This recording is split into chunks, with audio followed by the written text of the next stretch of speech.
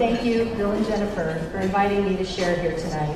And Kate, thank you so much for all the support you've given me as I've been preparing. Over the decades, as I have overcome poverty, lots of people have marveled at my family's bizarre story. Tonight, I'm, i can tell you about it with clear eyes because I escaped, and I have a very happy ending. Think about Alice in Wonderland fighting the Jabberwocky, or the heroine who battles her way through an epic Stephen King story. Bizarre, funny, harrowing, tragic, and finally, triumphant. I'm financially comfortable, I have a loving family, an excellent career, a beautiful home right nearby, good health, community ties, and a rich spiritual life. I stood up to the Jabberwocky and somehow I won. The fact is,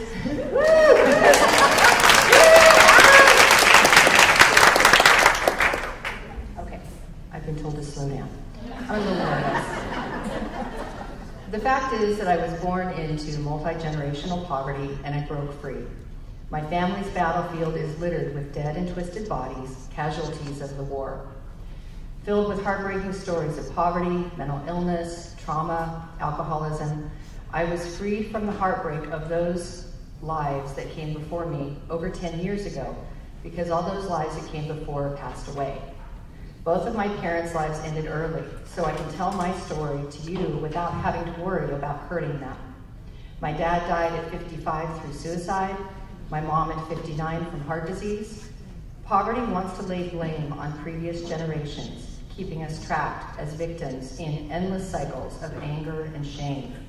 But I'll tell you right now, no parent wakes up one morning and says to themselves, I think today is the day that I'm going to screw up my kid's life just doesn't work like that.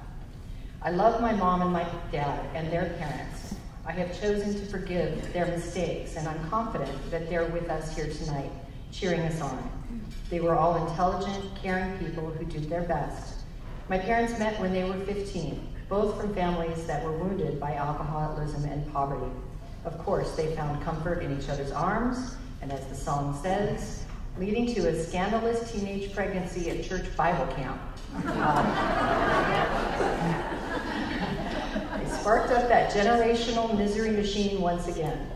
Two years later, they were divorced. I was born, and my tiny universe contained only my 19 year old mother and my two year old brother. My mom called us the Three Musketeers. Poverty forced our little family to constantly pull up stakes, starting over, and our sad story turned darker and darker as time passed. Think about those little crosses or shrines that mark a death on the side of the road. They're called descansos. Pick a day and I'll show you a descanso. As a child, I yelled loudly and often with very, very creative distress calls, and they fell on deaf ears. Living in San Jose in the late 1960s, I remember walking alone to kindergarten along a very busy six lane street talking to myself in a made up gibberish language because nobody was around and I was lonely, so I talked to myself. I lit my bedroom on fire. I shoplifted food. I got caught and scolded and, and released with a warning because I was an adorable little blonde haired girl with blue eyes and I could talk my way out of trouble. I often ran away from home, riding away on my broken bicycle from our tiny little duplex at First Light Eventually, I would watch as the street lights would go on at dusk, hearing my mother calling out for me, wanting me to come home, but I dreaded to go home, and so I just would wait out in the dark. I hid from babysitters, cruel, cruel babysitters who did shameful things to me and my brother. Stowing away in the back of the family station wagon, I hid under a blanket so mom wouldn't drag me back, wouldn't take me back there again. I got dragged back anyway, this time for a week, a dozen descansos for me and my brother that week. After my, my, at my after school daycare program, I scored off the charts on their IQ tests and I made life-size drawings of adults doing forbidden things. The teachers marveled at my intelligence and artistic talent. nobody noticed, nobody said anything, nobody did anything. Finally, the police showed up at our door one day, so promptly we moved to Florida. The last time I saw a babysitter was in first grade. After that, my brother and I went, ran wild in the streets and canals of Central Florida. I was a fierce little tomboy, a cute but feral little baby wolf who had not been socially, properly socialized. I bit other kids, I got into fights, I landed in the principal's office, and I also got off with a scolding because I was cute and I could talk my way out of trouble. In third grade, I ran with my brother's teenage gang who loved to cut school and egg cars. We would shoplift and then congregate in our empty house to smoke cigarettes and terrorize the neighborhood. I swam alone in our backyard canal filled with alligators and cottonmouth snakes. And finally, in third grade, I had my first trip to the dentist, who just shook his head as he filled a half dozen cavities. In 1972, my mom knew that things were bad and that she needed to get us home. So she moved us back to California, where her own mother allowed the three musketeers to crowd into her dark, alcoholic little house in Placerville. My brother and I shared a room crammed with the bunk beds that were still charred from my earlier arson attempts. I, joined fourth grade at Sierra School and temporarily stopped ditching. It was the closest to normal that we ever had known, and life started getting better. The descansos began to wane, but I was nine years old and I had already died a thousand times. Some of you may remember the Blair Brothers Lumber Company at the corner of Main Street and Broadway. It was just around the corner from our moldy little shack on Spanish Ravine. That lumberyard was my playground, and I have so many ridiculous stories about the antics that we pulled, the funny and harrowing escapes in the wilds of El Dorado County, and accompanying stories of pain, loneliness, and darkness. Lots of descansos, but I made it out. My beautiful brother did not make it out intact. He became a statistic, a shell of his younger self. I mourn him, but I have been forced to let him go as he returned to dark and lonely places where I just could not follow. As a young woman, I turned away from that darkness and I left El Dorado County behind, following a call that lasted the next 30 years to, feel my, to heal my family's wounds. Over and over again, I grabbed my sword and jumped through revolving doors in pursuit of freedom. After decades of wandering the field, I returned to my beloved hills and trees to finally slay the Jabberwocky. And now, after clearing away the battlefield debris, I'm here with you. Yay!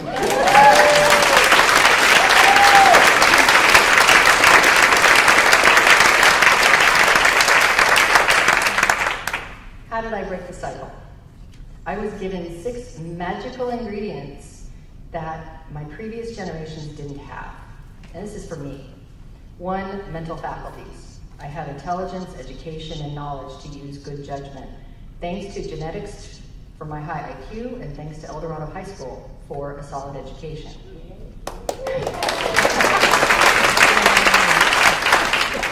Two, health and personal safety. I have access to healthy living conditions and medical, dental, and mental health care. Thank you, Planned Parenthood on Spring Street, for giving me free birth control so I could stop the cycle of teenage pregnancy.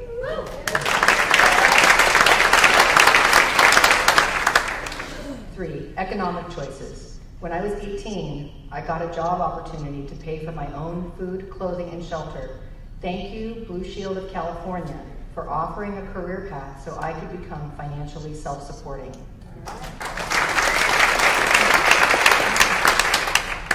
And number four, emotional well-being. I'm able to respond to life situations without self-destructive behavior. Thank you to dozens of mental, health, I mean dozens, of mental health professionals for healing countless traumas and giving me the freedom to treat myself with generosity and forgiveness instead of fear and shame.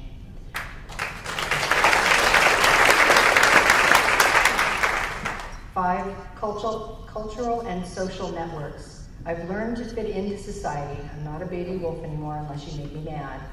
And, and yeah, and that's really true.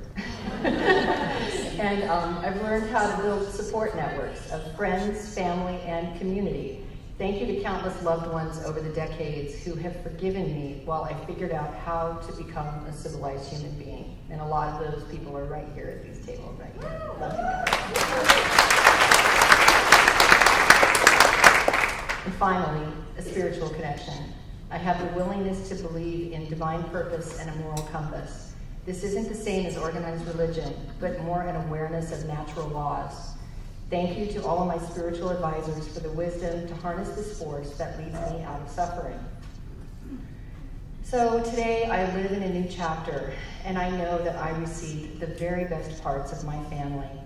I'm so grateful to be here tonight. I'm so grateful that I was asked to do this because in doing so, I was offered a choice to let myself fall back in love with those three musketeers. I had closed that dark chapter many years ago and put it up on the shelf. Through this journey with your, you here tonight, I pulled it back down, dusted it off, spent time with those ancient photo albums. I reminisced, I laughed, I cried, I forgave, and then I dried out my eyes and I came here to be with all of you here tonight. Thank you for caring about your community. Thank you for the privilege of letting me serve on the membership committee of the Women's Fund El Dorado, part of the El Dorado Community Foundation. So proud and happy to be with all of you. And thank you all so much because now I'm thrilled this talk is behind me and I can turn it back over to you.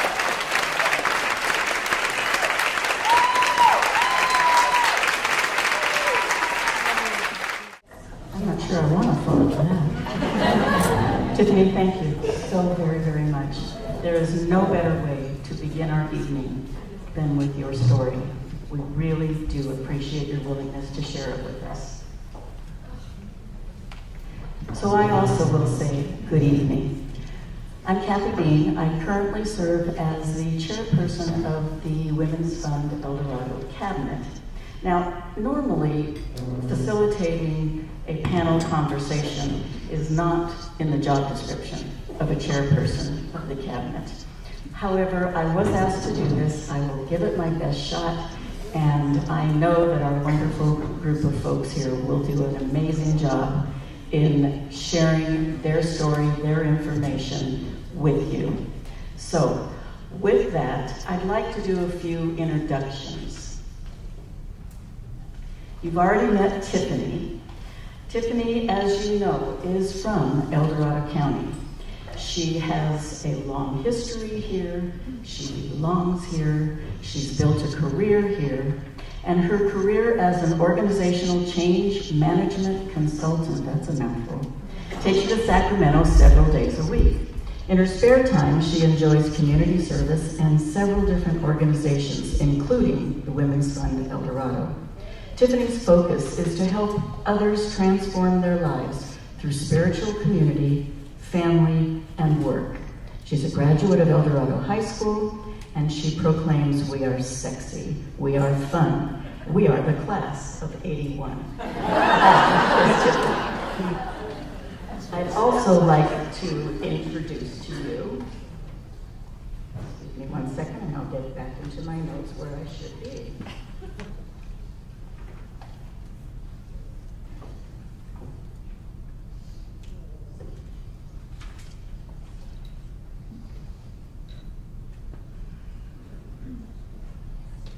Just a moment. Oh, I'm very pleased to introduce to you the Honorable Dylan Sullivan. Dylan was elected to the judgeship in 2014 in June. However, due to circumstances, the governor did appoint her to that same judgeship in September. And so rather than wait to take office in January, she took office in September. Prior to being um, a judge of our Superior Court, she was also a commissioner. She also had several different positions within the legal profession and has served um, in her private practice as a criminal attorney. I'd like to introduce to you also Dr. Veronica Velasquez Morfin.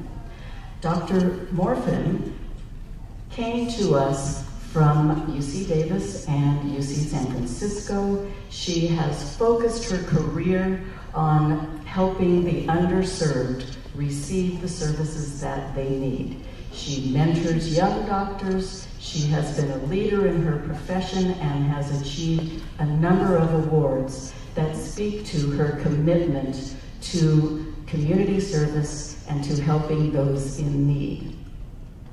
Dr. Ed Manansala comes to us from Sacramento. He's currently serving as the Deputy Superintendent of the El Dorado County of Education. He's in charge of educational services.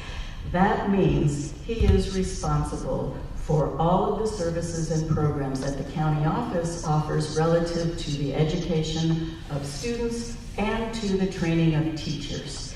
He works with things such as child development, professional development.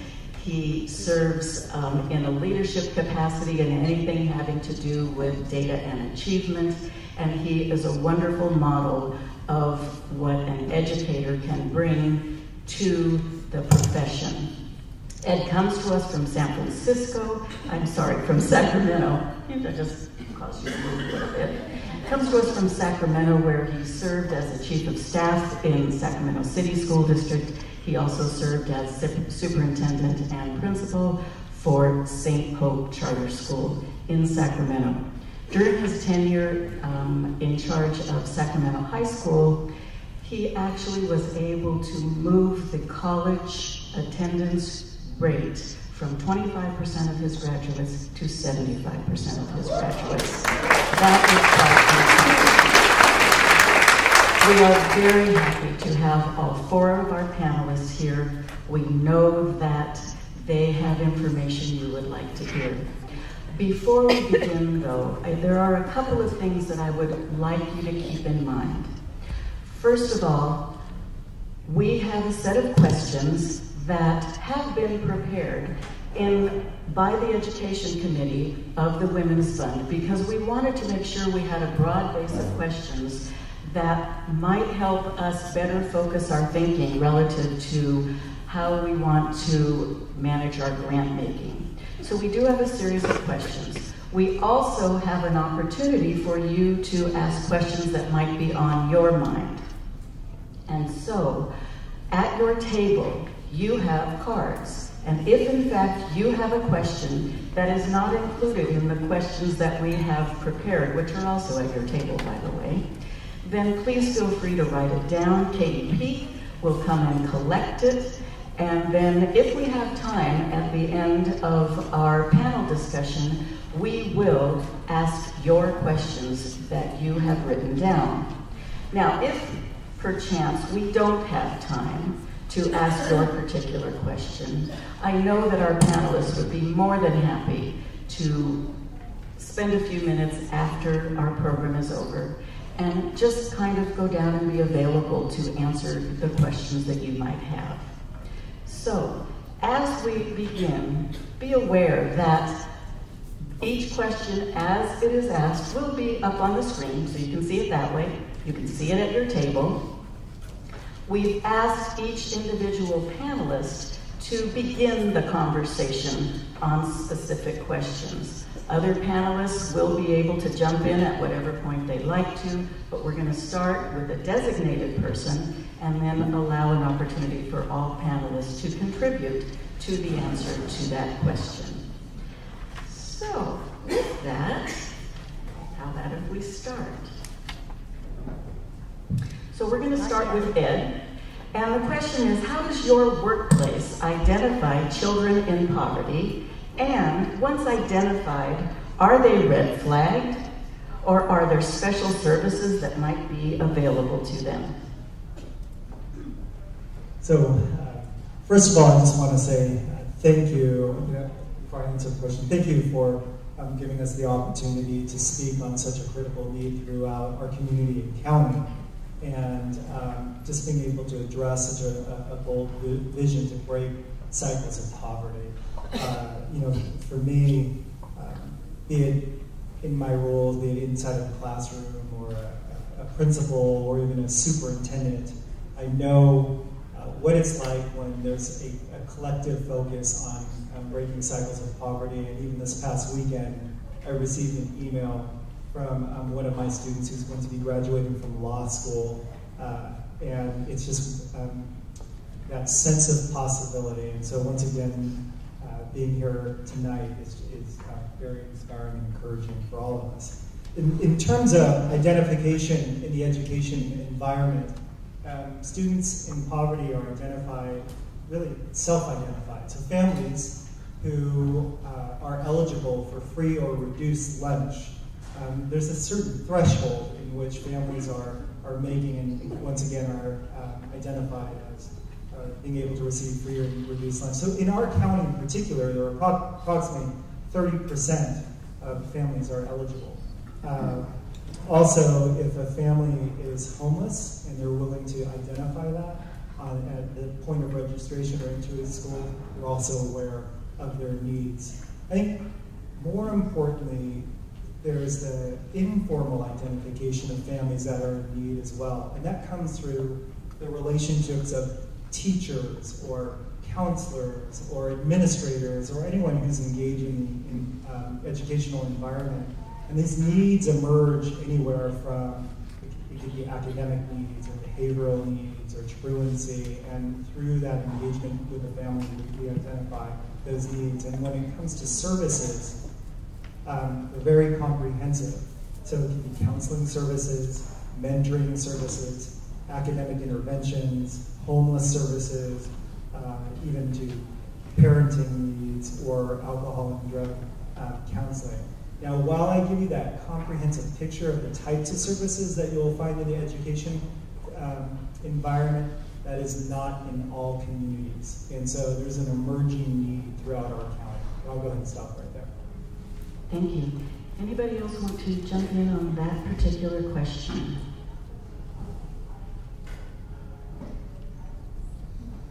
All right. Before I ask Veronica her question, I think I neglected to mention to you when I was talking about Veronica and her accomplishments that she's currently serving as the director of our El Dorado Community Health Center.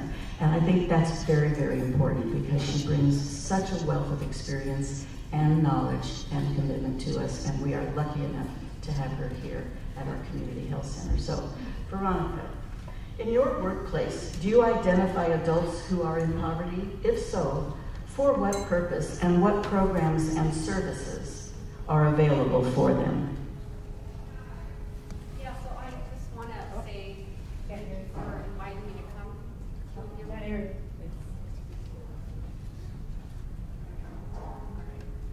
So I just wanted to say uh, thank you for inviting me. I'm you know, I've been in El Dorado County for about six years now. Um, most of my experience in healthcare, you know, has been more in urban settings, so this was something that's different for me, even though I grew up in a, you know, semi-rural agricultural community down in uh, southern um, Monterey County area.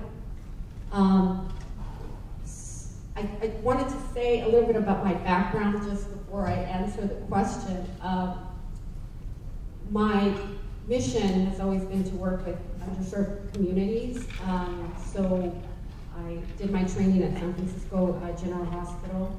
Uh, I worked a little bit in Sacramento County and worked with the uh, medically indigent population there. And then um, started working for the Community Health Center in um, Placerville. And I just wanted to describe to you what, what the difference is um, between a community health center you know, it's not a clinic, it's not a private doctor's office, we're a nonprofit organization. Um, so we provide different types of services. It's not just, you know, diagnosis and treatment. It really encompasses uh, social issues, uh, behavioral health, uh, mental health, um, all of those things. And so you know, patients don't really identify themselves to us as being poor. Um, most of the time we discover that through circumstances. Uh, you ask them to return because they have a condition that requires, you know, quick follow-up and they tell you, well, I don't know if I can come back because I, I have to, uh, I don't have enough uh, money to pay for gas and I'm living in my car and, I, and, it's winter and I need to keep it on to stay warm. Um, those types of things. Um, in our health center, we have a, an entire department dedicated to helping individuals who are going through difficult times. It's, it's limited. We call it a patient assistance program, um, where we have a budget designated to help families, um, you know, when they're having difficulty accessing food, uh, transportation, um, clothing. Um, and it's always amazing. I mean, I, can give you an example of something that stood out to me. Uh, even till now, I, I saw a newborn baby that was two and a half weeks, almost three weeks, who came in um, and was not back at its birth weight and also came with a fever. Uh, when you have a newborn with a fever, you need to admit them to the hospital and figure out why they have a fever. Um, so we told the mom, I told the mom that we needed to send the baby to the hospital, um, but we needed to send them to Sacramento where they're more uh, equipped to deal with newborns. And so she said her husband was available to drive them, but then she said her husband was not comfortable driving to Sacramento because he didn't have a license. So then we had to call the, you know, the ambulance uh, to take them. And then later we got our patient services department involved uh, in the idea why is this baby not, not gaining weight? And apparently the, the husband or the father had just lost his job. Their um, power, they had no water or um, you know, heat, so they were uh, cooking outside in their uh, grill. And I guess the mom felt that she didn't want to feed the baby too often because she felt that um, because she wasn't feeling good, uh, she was stressed. She didn't want to baby bad milk. So it just kind of tells you there's so much uh, so much that we don't know that you wouldn't realize unless the baby hadn't presented with the, uh, you know, fever and failure to thrive, and you said, well, we need to admit them, that you wouldn't have learned all of these things. And so that's just kind of an example of how, you know, how sometimes we just don't know. It's really hard to know. Um, and our, our staff too, our medical assistants, our support staff, sometimes they, they interact with patients and they identify, well, this family's homeless, and I'm always amazed at how um, their commitment, their dedication, and they amongst themselves will, you know, donate things to this particular family because they're homeless, and it, it's, it's, it's a good place to work. I'm always amazed at the kind of work the people that I get to work with. So. Other comments from the panelists? Um, is my mic on? Yeah. Uh, so I waited to, to respond uh, because I think the answer for the court system is similar, um, irrespective of whether the person is a child or an adult. But before I get to that answer, like my colleagues before me, I appreciate that you included me in this really important forum. And hear you. Get it closer. Just get closer. Closer. Closer. I can get closer. I can go really close, actually. So I was saying that I waited to answer the question until, because I can answer children and adults more concisely and splitting it up. But before I answer the question, I, like my colleagues before me, want to say thank you. Uh, thank you for including me, but more importantly, thank you for having the forum at all. This is, um, the more I thought about this issue, the more I realized that it's critical to all the other issues that I'm working on. But I get really focused on the issue I'm working on, and uh, that's too bad because if we could figure out how to deal with poverty, we would make such incredible strides um, that I think the quality of life for everybody would be much improved. I also want to tell you that, um, and this is mostly for context, that I'm here representing the court at some level because that's my profession. However, I also grew up in poverty. My story is not dissimilar to Tiffany's. And uh, I stole food. Actually, those free school lunches, I used to like to take an extra one or two because, you know, it was food. I always thought it was funny that I was getting in trouble for that, by the way. Um, so, when I answer these questions, I will be answering them from both perspectives. That is, from my professional perspective and also from my personal experiences. So as it relates to these questions, that is, how do you identify children and or adults in poverty in the workplace, the court system frankly doesn't do that good a job of it. We have a system in place for fee waivers for people who are not able to afford the fees. Apparently it's too close now.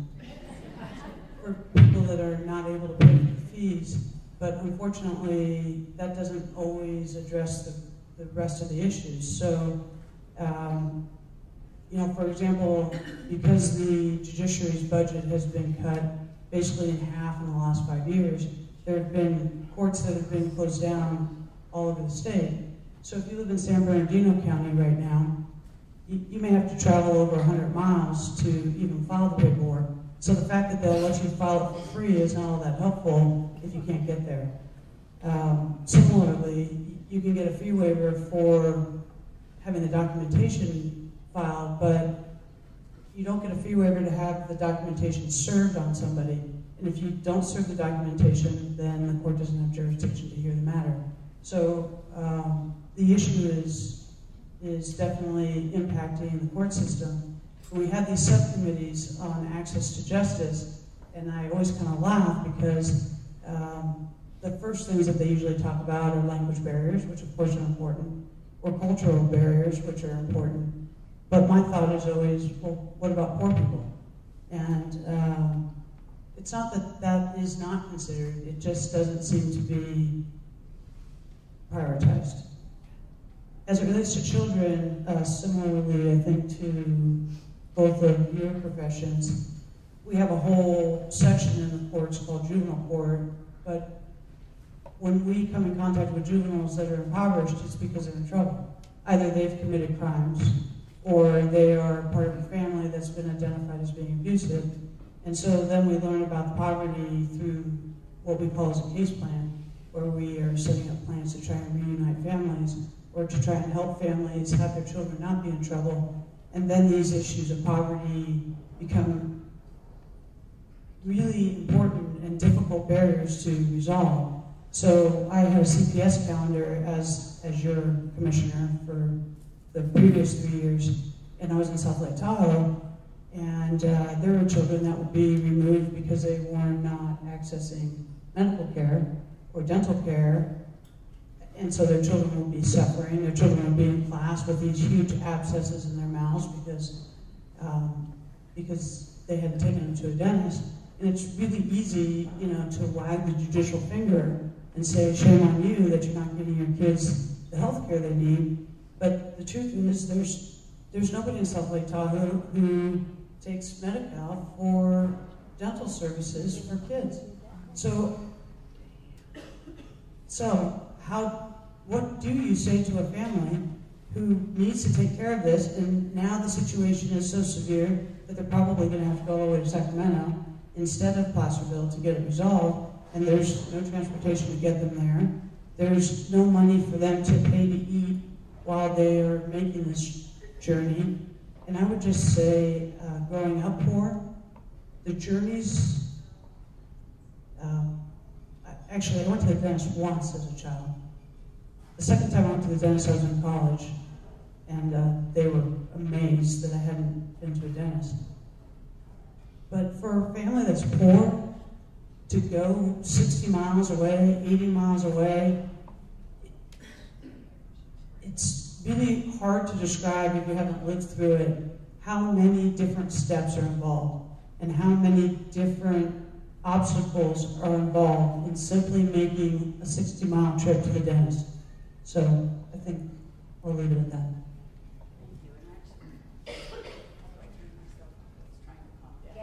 I know.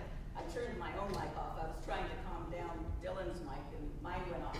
But that leads us very nicely into the next question, which is what are the barriers that people in poverty experience in rural areas. And Dylan did a beautiful job of introducing that topic, and Ed, you might have a few more thoughts on that as well.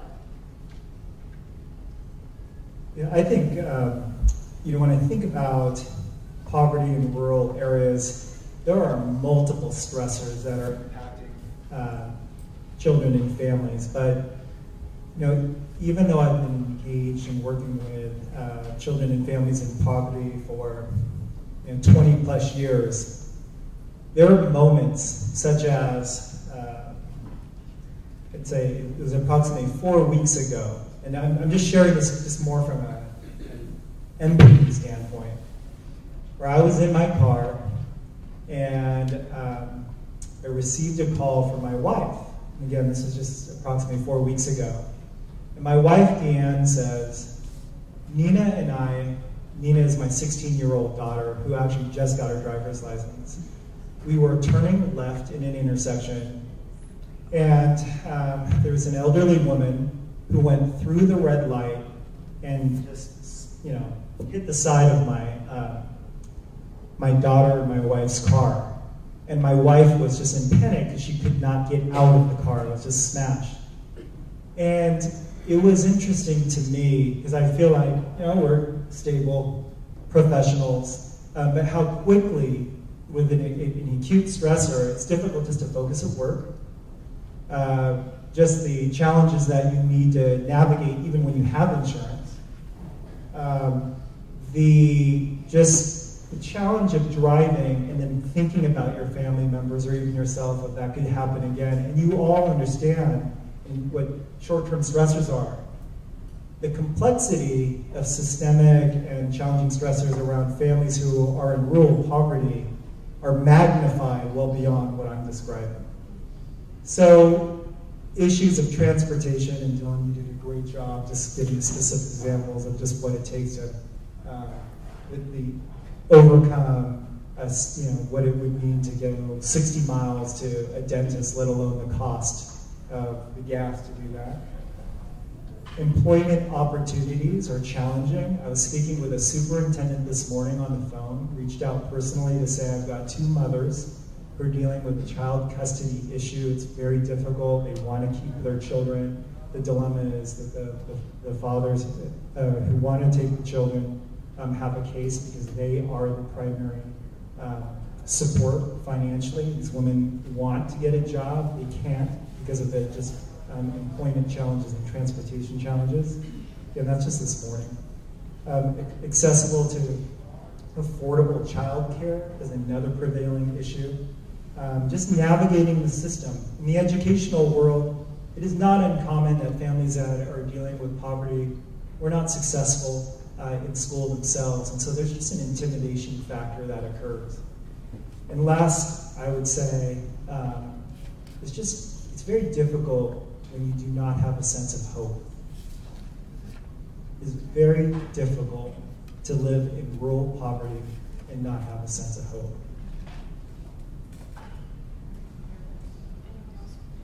Does anyone else want to jump in on that one at this point in time?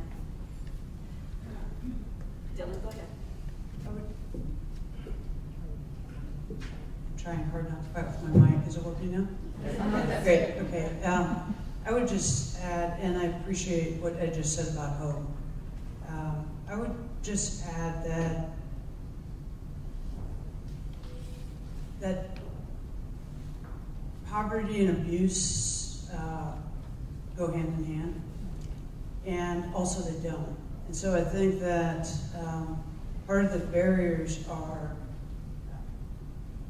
if you are a child who's impoverished, is just the shame factor. So it's kind of the opposite of hope. It's not just that you don't have hope, it's that you're embarrassed. I mean, you're the kid who's wearing the same clothes every day. You can see that you stand out when you're in school. And so if there's not a value on school and you stand out in school in a negative way, then why would you want to go to school? Um,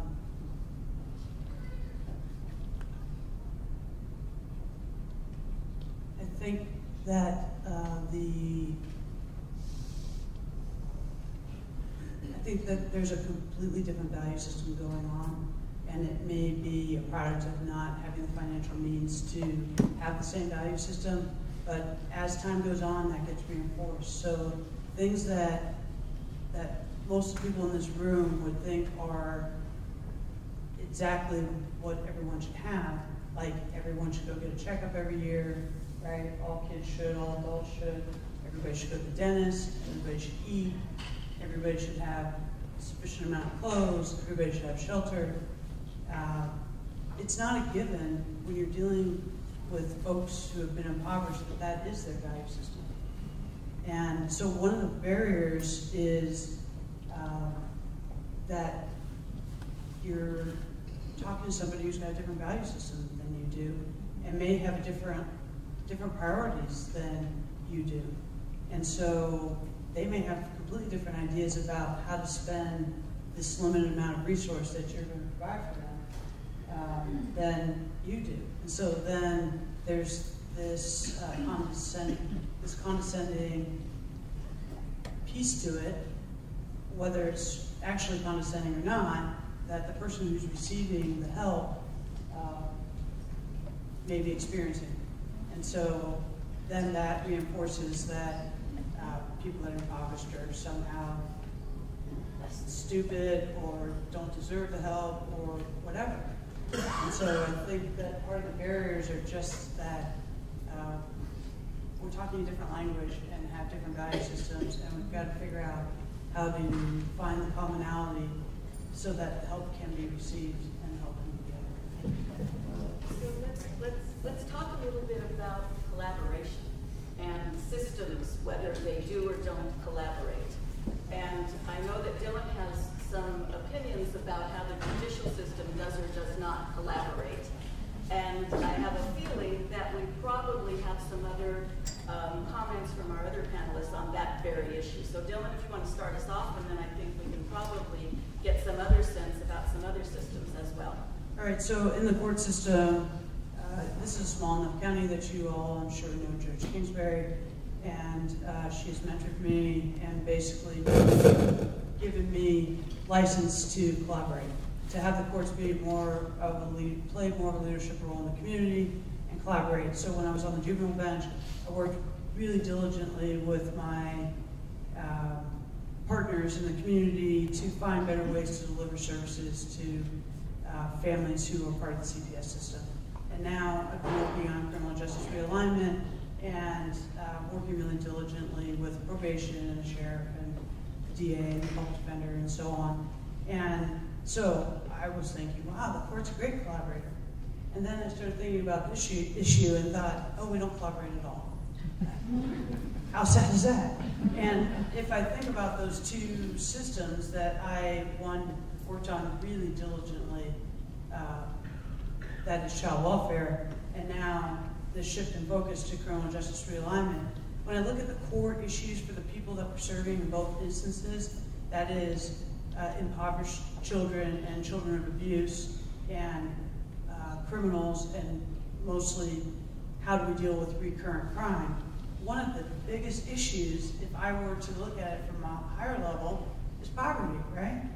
And so I'm sad to say that I don't think we're doing a very good job of collaborating as it relates to the specific issue of poverty. However, we'd like to. if I'm still being tapped as a collaborator, I'm there with you. Other thoughts? Yeah, well, um, as I was listening, listening to the women next to me, you know, thinking about, I guess, barriers and how do you get out of poverty. I mean, the problem is so hard. It's almost like you have to have some luck uh, along with it. It's not like there's a system in place that helps you get out of poverty, especially if you have uh, a young person or a child whose self-esteem is so low. Um, you know, just like they were talking about, just having this shame, being embarrassed of, of who you are, and having no one to tell you that you're special, that you have talent, that you have a gift, that you have a purpose in the world. So how how do you give that to a young person? How do they receive that? And for me, I, I think that in education, for a lot of kids, their first role model, their first safe place is in the classroom or a teacher that lets them know that they are smart, they are special. And so sometimes, you can have a kid who will grab onto that and who says, I don't want to continue the cycle that you know my parents, that my community has continued, and and goes with it. But then you have to have no distractors. Uh, and for teenagers, there's tons of distractors. Um, so, I mean, I don't know exactly their, you know, the women here, how they got to where they are. Um, for me, I, I'm the first person in my family who, who uh, you know, uh, went to college, uh, let alone even higher education. And so I, I lived in a community where all of my friends were, you know, becoming teenage mothers. And um, I, I, I don't know, people always said I was an old soul because I was always um, telling my friends who were planning to run away with their boyfriends, like, don't do it. You know, like, if he really loves you, he'll wait for you. You know, those types of, of things. But for me, I, I had this goal in mind that I needed to get out of the community that I lived in because it, it just didn't really lead to anything good. And so I, in many ways, I was very lonely in high school because all my friends were out partying and uh, ditching class, and I had a goal in mind. And so I had to go take my exams, and I had a chemistry physics teacher who saw a talent in me and said, well, are you going to apply to college? Why don't you bring your personal statement? You know, I'll, I'll, and he reviewed it and gave me advice, and and that's kind of the start of where I went. But um, if you don't have any role models in your in your life or someone guiding you, it's it's difficult. Let alone when you're living in a, a household of abuse or where you're not getting enough food to eat. Um, you're not receiving clean clothing, a, a loving environment. I mean, I didn't have any of what they had. I had two like very loving parents. I mean, we didn't have a lot, but I always had enough food to eat. I just didn't have, you know, guidance in terms of higher education. So I, I just see it as how do you provide these kids? It's almost like if you're born into a certain environment, it's you're already um, behind. So I, I don't have any solutions. I'm, I'm sorry, but. Well, but that is a very excellent segue into our next question, which is what has your profession taught you about poverty? And I know that Ed has some opinions about that, and it's consistent and um, perhaps um, he, it's consistent with what we've already heard, and probably another few thoughts. Ed? So, uh, first of all, Veronica, you you're talking about your school experience. You know, I've been um, in schools where they've been predominantly poor in terms of um, the student population, but students like yourself, you know, if the system is affirming um, excellence and high expectations, you would have been a rock star in our school. So I just want to let you know that you would have been the role model. So with that said, I think one thing I've learned is understanding and empathy goes a long way.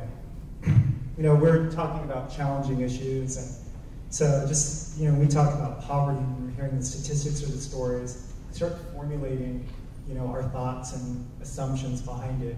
But when you're actually engaged with children and families who happen to be in poverty, and you're in a posture of understanding, uh, I think that's the first thing that's important.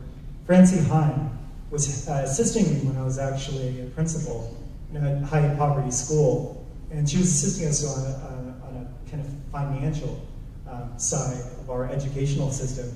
And I think probably within the first hour that I met you, Francie, I said, um, I want you to come into my classroom. I was a principal, but I taught. And I wanted her to meet the children. And I wanted her to hear their hopes, their aspirations. Because again, I just wanted her to understand the community that I wanted her to assist. So this panel can be, you know, we can express all that we want. But what I've learned, you easily could have us just go outside the door and line up like 10 parents who happen to be in poverty, right? We wouldn't say they're in poverty, just line up these mothers, fathers, family members, and say, What's your dream for your children here in El Dorado County in school? You just listen to them. Right? They're going to have dreams. And you kind of move them aside. You bring 10 children, anywhere from elementary school, middle school, high school, or maybe one who's struggling. What are your dreams? What do you aspire to? That would galvanize us. We would understand how we want to invest our time, our commitment, and our mission. So my point is, what I've learned in working with, in the field of education, understanding the children and families goes a long way when you're strategically looking how to invest your time, talents, and resources. Other thoughts about that? So Tiffany, we're going to take it back to you for just a minute. And you were very kindly willing to share with us your experiences. Can you help us better understand what services were available to you, what services you were able to take advantage of, and let us get a sense of that? Um, you know, it's was it's been an amazing journey to share with you this way tonight because from you know I was going to jump in uh, to the comments that Ed and, and, Dylan were making about and Veronica about um, the, the cultural divide and the two worlds. It is it is two worlds. It is I mean I'm a dive master and being poor is like being underwater, and having enough is like having air, and they're not the same. And so when you're poor and you are covering, you know, in the wild, animals have a way of always compensating on their appearance. They do not want to look weak.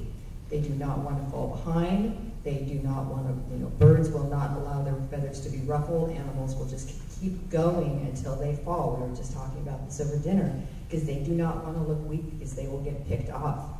And so when you're poor and you're compensating and you're covering, you don't want to get picked off. So you don't access, you don't ask, you don't act as if you're poor. You just, in my family, we didn't want other people to notice. You know, we were very proud, uh, intellectually superior, had a lot of grandiosity going on, and um, we did not want anybody to know. So no, we did not access. I have no idea what sort of resources might have been available. We didn't access them. So the answer to that was, I do not know.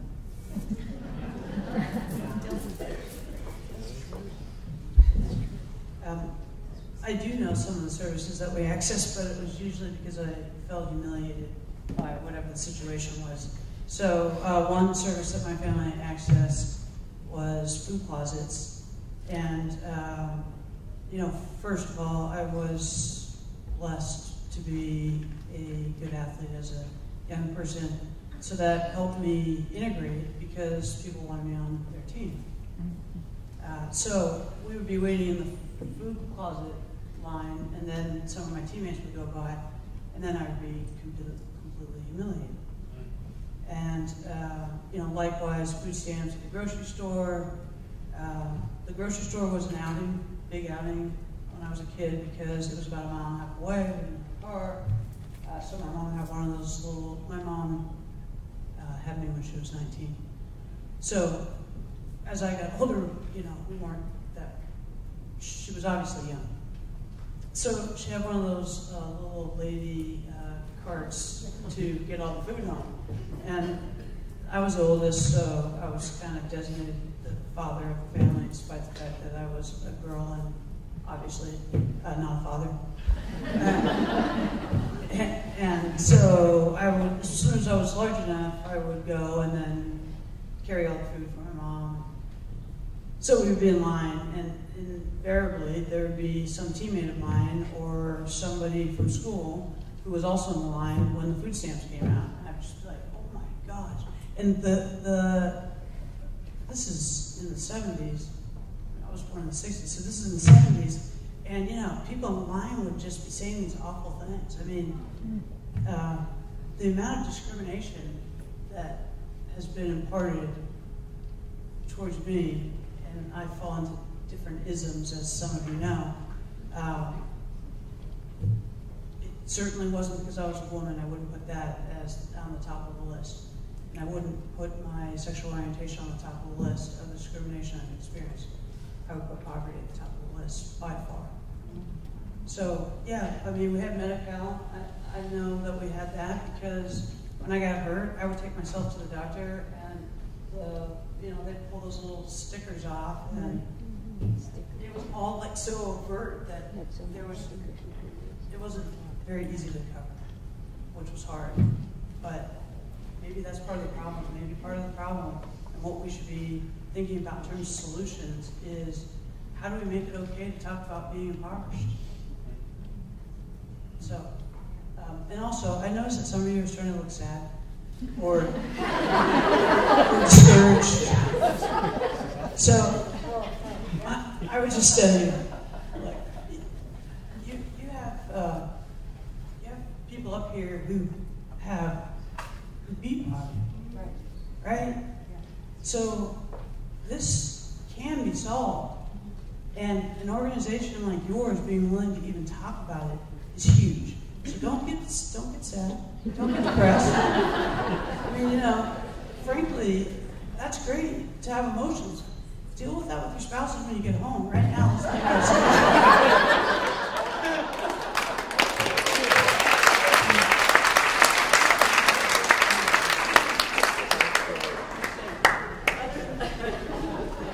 I don't, you know, it's kind of like, how do I follow up on this?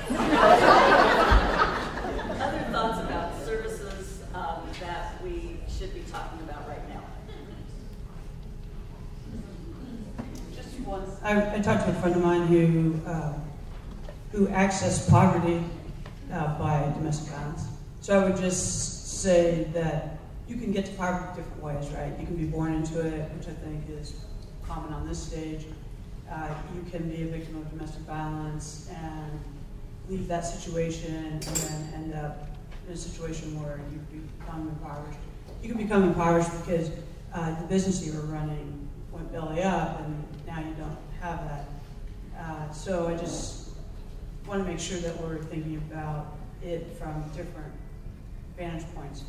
But I have a good friend, a really good friend, who entered into poverty as an adult as she was a victim of domestic violence. She has two boys. So I talked to her about it because I wanted to get her perspective before I came. And so, you know, being in El Dorado County, the transportation thing just, I just always go back to transportation. Mm-hmm. And she said, oh, come. I mean, you know, I'm an attractive woman. I could always bum a ride. But I'm just not going to leave my kids with anybody. So when you were talking about affordable uh, child care, what I thought is it's never affordable.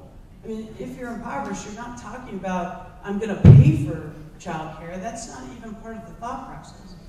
The thought process is which of these neighbors of mine is not going to be high, which one's not going to molest my kids, you know, which of these neighbors who can I leave my kids with for a couple hours so that I can go deal with something, or so that I can access the services that and and opportunities that you want to provide.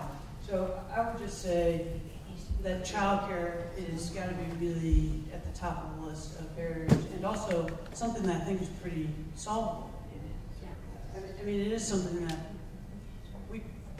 there's I don't know how many people are in this room, but if if we had ten conversations about it, we'd find ten solutions, right? And three of them would be viable. So.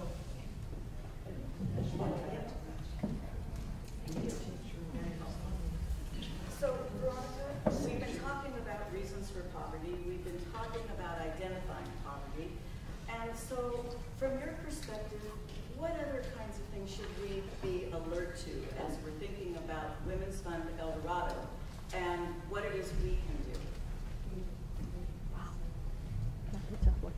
Well, you know, my, my perspective is always on, you know, healthcare needs and, you know, we inevitably, you know, and I tell our provider group that patients uh, many times are not treated equally um, because we still have a significant number of people who have no insurance who cannot qualify for any insurance product. And so a lot of the preventative health measures that are recommended do not apply to them.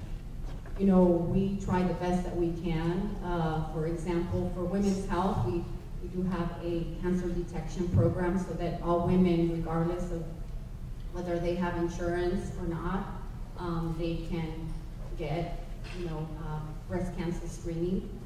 Um, but other uh, preventative measures like colon cancer screening, um, we can recommend it to all our patients, but that doesn't mean that they're going to go um, get that done.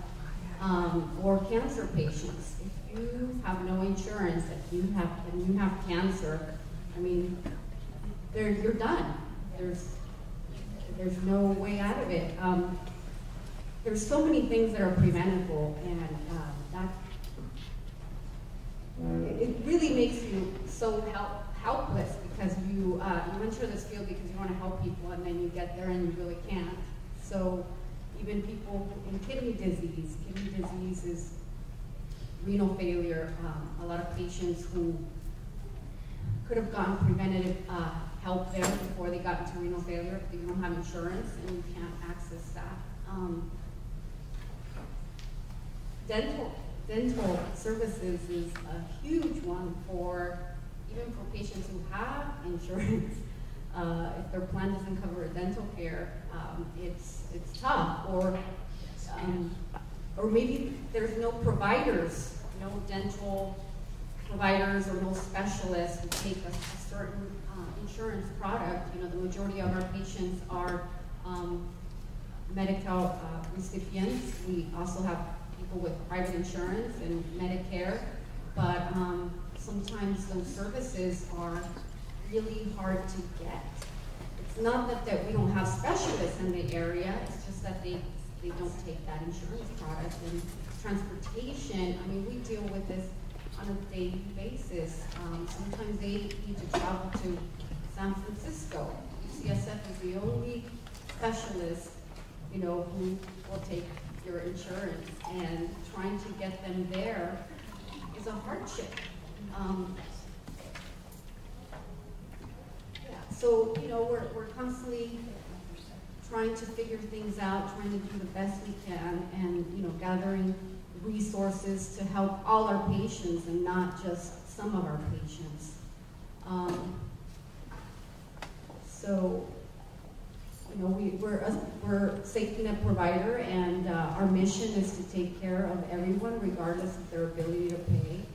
Um, but sometimes uh, when we can take care of things inside the four walls, but when it comes to specialty services, it can become a, a challenge. Um, Other thoughts on that issue?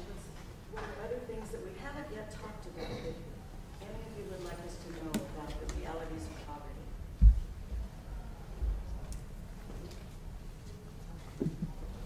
So Dylan, I want you to help us get back into a positive perspective. That's my job.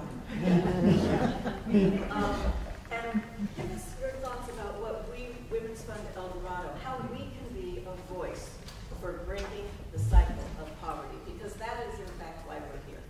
Right, so, um, excuse my phone, I'm not actually texting my friends. Uh, I took some notes on my phone.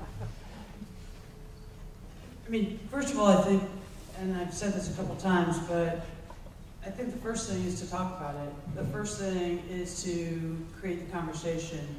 And in creating that conversation, um, I think that the Women's Fund can be proactive about identifying the myths of poverty or uh, you know common reasons why people are discriminated against related to their poverty and uh, make a commitment to continuing to talk about it. And you know, that might be underwhelming, but as I look across this room, I don't know, there's two, between two and 300 people here, what I would guess. Um, so if everybody in this room committed to talking to five other people about this, then that would be between 1,000 and 1,500 people in our little county who are now thinking about it. And inevitably, some of them would talk to other people, and we would actually start a conversation.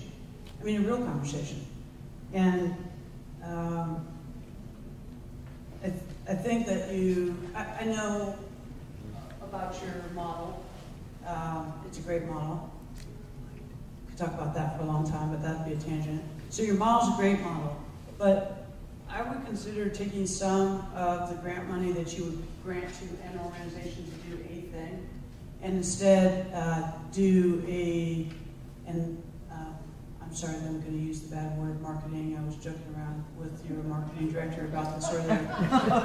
do a communications campaign. You know, we have this crazy thing called the internet, where instead of talking to a thousand or fifteen hundred people, we could be talking to tens of thousands of people about this issue. You know, you could do you could do the campaign where you put the signs at all the bus stops if we don't have any. But which get my point, right? But, which, but you get my point, which is Whoever was offended by that, I'm sorry, but I was just trying to put an emphasis on the transportation issue. but, but my point is, it's one thing to talk about it, it's a whole other thing to really uh, use something that you already have in-house, which are marketing specialists, to try and frame how to talk about it, and how to pick up a couple issues and really talk about it, and put a campaign out there to talk about it, and I suspect that you could get partners to do that. You could get the food bank to partner with you. You could get the foundation to partner with you. You could get some healthcare folks to partner with you. You could do something at the schools, right? You could do something at the courts. I would be happy to help. So uh, I would just ask you to consider looking at it collaboratively. Thank you. Mm-hmm. Uh, from 30,000 feet instead of in the trenches, which I don't want anybody here to think that I'm saying that you guys donating and I actually belong to you, in the trenches is a bad thing. It's a great thing. But on this particular issue, I think it needs a bigger picture. It, it needs big picture effort. And I understand that each year there's a different topic, but I would challenge you to think about poverty over a period of years, which doesn't necessarily mean uh, that you're not going to do anything else. But if you're going to make a commitment to, to making a difference in this issue, it's not a one-year project. In, in my mind, there has to be forums like this that occur in other places besides the Women's Fund. We've got to figure out how to get business leaders to come talk about this. I mean, one thing that we didn't talk about is the living wage. So I'm sorry that I forgot to say that when we were on the negatives. But while we're on the positives, while we're in the positives, we've got great business leaders in this community. Right? Right. It's, it's to their advantage to have workers who can actually feed their kids. That, that's actually to their advantage because that parent's not going to be stressed out the whole time that they're at work. They're going to be more focused on the work. It's behooves business leaders because their employees will be there on time because they'll have some way to pay for the gas for the person that they're going to bum the ride from. Um, you, you know, I think that a subcommittee thinking about how to frame this up and doing a educational campaign over, say, a three or five year period really change the way people talk about poverty in this county. And one last point about poverty in this county. I lived in Sacramento County for 25 years, thank you all for uh, welcoming me into your county. I love it here. It's fantastic. I feel very privileged. But let me tell you the perspective of Sacramento County. They think El Dorado County is rich. This is the place that everybody wants to move to if you live in Sacramento County. They want to move to El Dorado Hills, right? It's the nicest suburb of Sacramento. It is. That's how people from Sacramento think about El Dorado County. Is I'm going to vacation in South Lake Tahoe right? Where they perceive that there's money, despite the fact that there isn't any. and I want to live in El Dorado Hills when I make it. Okay, so let's just imagine for a second that we take El Dorado Hills out of our county, which I don't want to do. but if we took El Dorado Hills out of our county, and then we looked at El Dorado County, and we talked about poverty, then what would people outside think?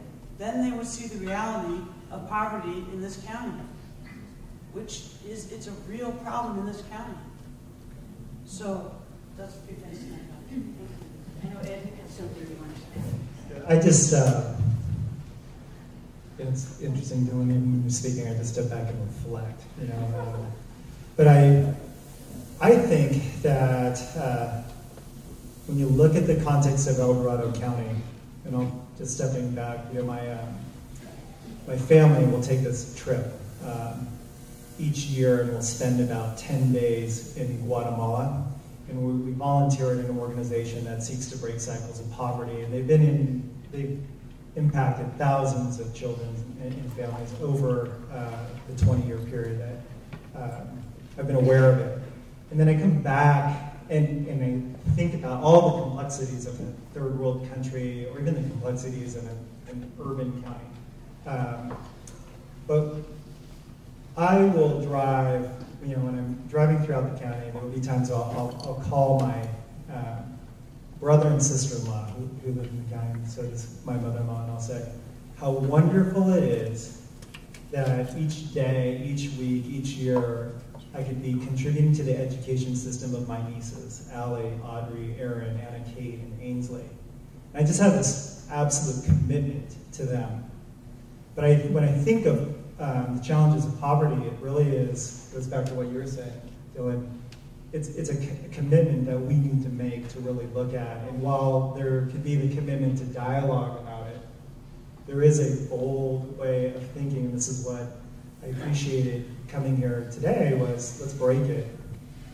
There is, there is these times where I sit back and I'll drive through the county and I think, this is the type of county that can eliminate poverty. Like I, I feel that because of the, the level of influence, but the challenges are great. So I just want to, again, um, acknowledge my appreciation for the topic and it's complex and while the grants are good, there's just a, a, level of knowledge and network in this room that can move other systems that are impacting hundreds of children. Other comments on that particular? Um, and Kathy, I'm going to take the liberty of doing a segue between Absolutely. their bold thinking um, and the next question on the list that I have which is um, you know, how to define and implement a long-term process or path, basically a, a, a, way of transformation that is real when it comes to how to deal with poverty. And, um, you know, Dylan, I just love you. I love her tonight. She's my new best friend. Because you get in trouble, huh? I'm in a little bit of trouble in my life. So, you know, we're rebels, and there's nothing worse than, uh, than powerful women that know what the heck they're talking about, that are getting together to do good stuff. And, um, you know, this is just so fun to be up here and doing this with y'all. Um, the, the, the truth of what it takes to get out is that it is a multidisciplinary, multi-generational, multi-faceted, it is a 360 degree problem and it requires a 360 degree solution. It is a lifelong recovery trip. Because if you're born into it and you have been, you know, bred in that air and you've been fed that water, it is in you and it never leaves. It never leaves. I mean, I'm 51 years old. I stopped struggling with financial poverty when I was in my 20s and it's only really now, in this past five years or so, that I have really, really overcome, and I still struggle with the early origins of the fear and anxiety and the deep trauma and the knowledge of it can get worse and the feeling of not enough. And also, you know, we have to talk about the social aspects of what do you do when you have to leave your loved ones behind because you have to. To escape, this is real. It is understood in, you know, in, in poor neighborhoods, in poor families. You know, kids that try to do well in school, they get trashed because you're trying, you think you're better than I am, and you're trying to get out. Who do you think you are? You think you're better than I am? Well, let me just show you. And I'm telling you, I have friends that are, you know, family that is, they're, they're on, their, their wreckage on the battlefield because they lost, and I had to leave them behind. And it's real, and it's painful. How do you ask a kid to let go of their parent when their parent can't come along with them on the road to getting out of poverty? The parent won't leave and the kid wants to. What does the kid do? So, um, you know, I, I have a question here that's about how to, you know, I'm a change management expert. I love process. I love organizational transformation. I love being able to get in and just work out a plan because I came from poverty. I'm a control freak. And, um, you know, just tell me what to do. We can get it done. And um, it's real that you have to be able to create a system. And what I really love about the things that I've experienced is that by being willing to reach out and take action in order to say, this isn't good enough for me, I want more, and then taking action. The action itself generates momentum and it generates energy that other people can see and respond to. And so in coming up with a real, you know, a real solution, we need to bring in multifaceted, uh, you know, big thinkers, little thinkers, people that can mentor, people that just can hang out and, you know, be, create community, you know, we've got life skills in here, we've got amazing people in here, decades and decades of success. We can leverage what's in this room and turn it into a fireball. I mean, we don't have to pay money in order to help solve this. We're here, we can help solve this. So, um, you know, I, I really want to talk to every one of you to your hearts and say, have I made it past, have I made it through and overcome adversity? And what do I have to offer to someone who's trying to get out? Because we find the willing, we work with the willing, and the willing then start generating their own power, and they begin to have that ripple effect in their own communities, in their own families, in their own lives, and it takes on this amazing momentum, and it's real. I've seen it, I know it, you create community, and it works. So um, that's all I have to say about that. so with that, we've heard from our four panelists.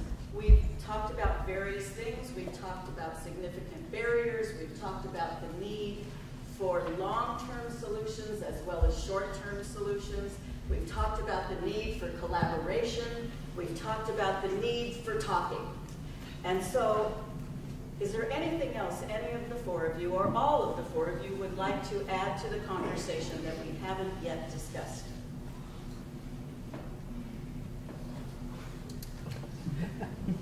I think that we've talked all around it because we inherently know it's true. But the answer is children. So I know that's obvious, but piggybacking off what Tiffany just said, it just seems like it should be so easy. We've got them captive at school. We could provide all the services they need at school. Um, but if you don't address the issues of socialization, the mental health issues that are likely part of the uh, issue with their parents, that, and by the way, if you grow up with somebody who has mental health issues and you yourself don't, you're still being, the environment that you're living in is somebody who has mental health issues. And so you learn all these horrible coping skills because your person that you immolate has all these horrible coping skills. So the point about that is it has to be comprehensive. Um, you know, you can, the answer to the question of if you're the kid who wants to get out and you can't bring your family with you, the only actual answer is to get out, which means you do leave your family behind, which means you've got kids that are young people who may be able to get in college. Then you put them into college and they have no idea how to behave in, in normalized, socialized uh, activity. So I, I don't think the problem is getting to the children that need help. I think that that the answer is thinking it through well enough to have it be comprehensive enough that we don't leave some piece dangling that then 10 years later, 20 years later, when we see that person and they're impoverished and or drug addict and or with serious mental health issues, we think, oh my gosh, we failed. Uh, not everybody will come along but let's make sure that we, the people that we ask to come along, that we actually give them a full panoply of support that they need.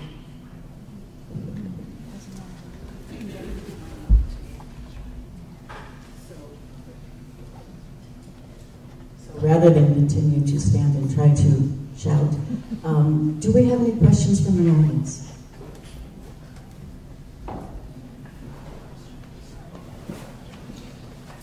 Pam, I see you back there. I think somebody is going to grab a question from you.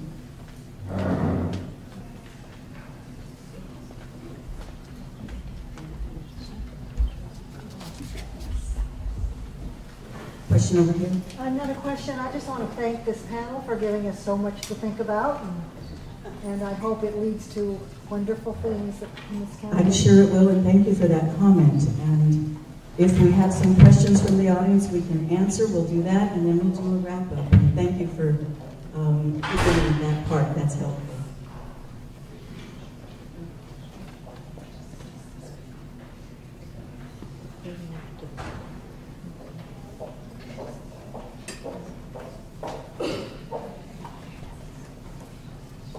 So we're going to try to take two of these questions. If the questions that we take are not your questions, then as I said earlier, if you'd like to stay after we adjourn, I'm sure our panelists would be more than willing to talk with you. So here's a question for our panel. Speaking to programs and services available, are there any for people in poverty to treat addiction? It seems there are programs for criminals, but no programs for people who can't afford it and if they in fact want it. So we're talking about programs to treat addiction. Veronica, it looks like you have a thought. I mean, that's, that's a huge need in our county. I guess it depends on what addiction, what specific addiction you're talking about, whether it's alcohol or, um, you know, opioid addiction. Um, yeah, I, you know, in, in our health center, we, we do have a physician who is uh, certified to provide opioid addiction uh, treatment, which is with uh, something called buprenorphine or Suboxone. So we have a pretty comprehensive program there in terms of integrated with uh, therapy because um, the uh, treatment doesn't work if you don't work on the behavior changes that are needed for that individual to work on uh, to, you know, get off some of the um, these medications that are that they're addicted to. But very limited. Yeah, I mean, we struggle. I mean, we have patients who say, you know, they've got alcohol problems and they want to go into an inpatient detox because they feel that's what's going to work best for them, and we don't know where to send them. We'll spend time talking to their insurance, the insurance company, and they said, well, that's something that your county mental health program should provide, but they really don't, and so it's it's it's a huge need. Dylan, I'm, I'm going to cut you off because we're going to try to manage within the time. Um, we have one more question that we'd like to take, and then um, we'd love to have you um, enter your thought at the end. So thank you. Be just one minute. Um, the question that we haven't yet addressed is how is poverty different for the elderly? We've talked a lot about the working population. We've talked a lot about children. How is it different for the elderly? Yeah, you know, I think for the elderly, it's, you know, some of the uh, patients we see, you're always wondering how well they're taken care of at home. You're always wondering, should I be calling CPS? Not CPS, I'm sorry, Adult Protective Services, because, you know, they have serious um, chronic medical conditions and they don't come to their appointments and a lot of times they're dependent on their family members to bring them. You know, they're, you know, it's almost like children. You know, if their parents don't bring them in, then we really can't help them. So there's a lot of uh, dependency uh, on some from some of our uh, frail elderly that um, also have a lot of mental health issues and um, areas of neglect um, that sometimes we don't know what to do about. Other thoughts? So Dylan, you had a comment about our previous question? I'm sorry, Tiffany. Actually, I do have just one quick comment about elderly poverty. Um, you know, from a personal perspective, um, a significant part of my family culture is that my the women in my family died before they were 60. They died alone. They died in poverty, and they died with their cats. Um, and after living that way, the hopelessness is so overwhelming that my what I saw was they just they just kind of just die. They just kind of die because the hope is gone, and there's they just sort of wink out. That's it. Thank you. Dylan? So ditto on that point, and die. Um, on the, the last question was, are there services for non-criminals to deal with addiction? Right. Uh, so I have a lot of knowledge about this because I work with parole board, so the knowledge is based in criminality, but I think it applies across lines, which is there's new research out there that shows that 76% of addicts have mental health issues. So um, what I see is anybody can go to an AA or an NA meeting, um, although the effectiveness is not very good if you don't have mental health services connected to it. Uh, likewise, you can access substance abuse treatment programs if you uh, end up in a CPS situation. It's going to be part of your case plan. 80% uh, of CPS cases involve drug addiction, 50% of CPS cases involve domestic violence. So you can see the overlap there. Uh, so there's huge services involved from the Department of Health and Human Services if you end up in that situation. The problem with both of those examples that I just gave is you're going to be in programs with criminals.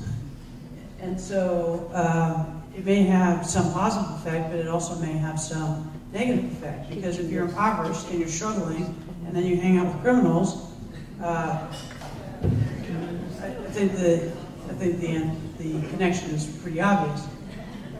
Uh, so what I would say as it relates to access for people that aren't criminals is we, for addiction, is that we need to stop pretending that these are separate issues and recognize that three quarters of the time, if the person has drug dependence or drug addiction, they also have mental health issues. So if we would work on our mental health issue problem in El Dorado County, which could be a whole nother forum, and I'm sure you had a lot of Right? I mean, in this room, we don't have to talk, we don't have to get to the point where we all recognize that we basically don't have that, unless you've got a razor blade in your hand and you're ready to commit suicide. There are no emergent mental health services in this county, and even for criminals, and those folks involved in a CPS situation, they may have health they may have mental health services during that period of time, but the minute they walk away from that,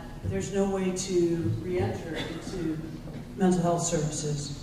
Uh, so, you know, if I put childcare really high on the list, I would put mental health also really high on the list. And uh, if, if we were simultaneously tackling mental health, which again would pull last year into this year, uh, then some long-term progress. So, so Ed, I know you have a comment. Just a closing thought in respect to education and poverty. I think, uh, you know, regardless of class, um, you know, what what we see, even in discussions with superintendents throughout the county, is just this desire to ensure that all kids excel and the expectations are high for all kids. So if they're 4.0 straight A student, regardless of the class level they're in, um, or if they're a struggling student, the expectations remain high. And yes, while we want the instruction and um, curriculum to be strong in the schools, we recognize that there are barriers.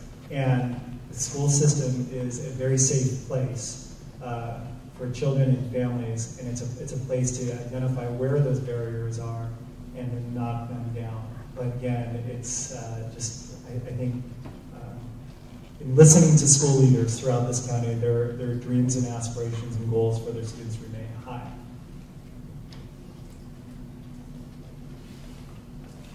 So with that, I'd like us to take a minute and reflect upon this past hour and a half.